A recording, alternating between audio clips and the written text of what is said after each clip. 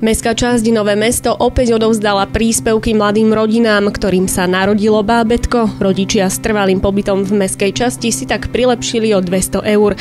V marci samozpráva takto podporila 150 detí, medzi nimi aj dvojičky Sáru a Simona. V podstate iba manžel má jedny jediné dvojičky v rodine a dozvedeli sme sa to asi, som bola mesiac tehotná. Takže na začiatku v podstate. Aká bola reakcia, alebo čo ste si tak pomysleli? No, neverili sme tomu v podstate zo začiatku, ale tak potom sme to nejak prijali, museli sme. Je to chlapec a dievča? Akí sú? Sú rozdielní alebo sú v niečom úplne rovnakí? Je to chlapec a dievča sú úplne rozdielní. Aj, aj povahovo, aj vo všetkom. Ona je taká aktívnejšia a on je taký, že leží. Je to chlapec, no taký lenivejší. Musíme si vždy nájsť nejaký systém a nejak fungovať.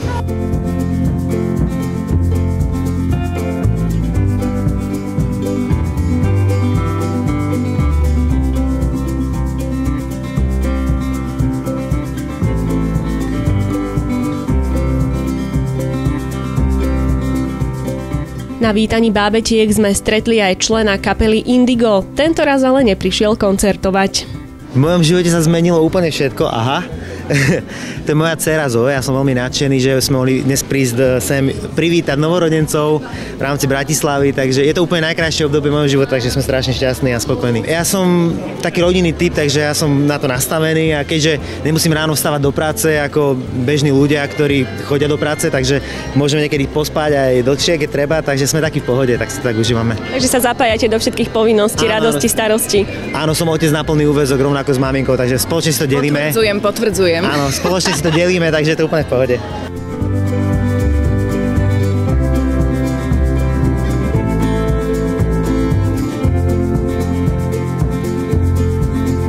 Babetko je úplne úžasné, strašne dobrá. No je samozrejme po maminke. Dobrá, ale aj po ockovi. Je úžasná. Veľmi sa tešíme tomuto obdobiu. Obaja. No. A dúfam, že bude rebelka po ockovi. Keďže aj mamina je pôvodne muzikant, tak uh, mamina je za, takže keď sa rozhodne, že bude rebelka po ockovi alebo po maminke, tak je to v poriadku.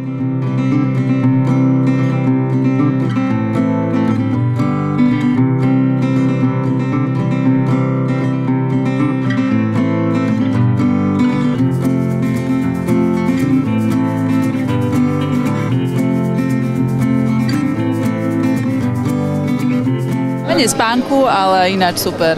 Je to iné pri druhom dieťati, ako keď sa vám narodilo prvé? Jasnačka, pri druhom je to oveľa jednoduchšie a viacej si užívame tú druhú cerku. Ako veľký brat reaguje na príchod sestry? No, zatiaľ veľmi pozitívne, teší sa z nej, pomáha nám, kde sa dá a robíme veľa vecí spolu.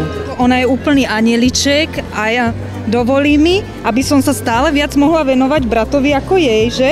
Úžasné, úplne nádherné. Sme si ani nevedeli predstaviť, aké to môže byť krásne. Je to únavné, ale stále je to tá radosť. Však nič není krajšie ako mať deti. Aspoň pre mňa. Človek sa síce troška nevyspí, ale tento je, tento je lepší. Tento spinkať náhodou pekne. Nemôžem povedať. Takže je to vaše druhé dieťa? Druhé. Tu je Leo a to je Alex. A prežívate to materstvo pri druhom dieťati troška inak ako pri prvom?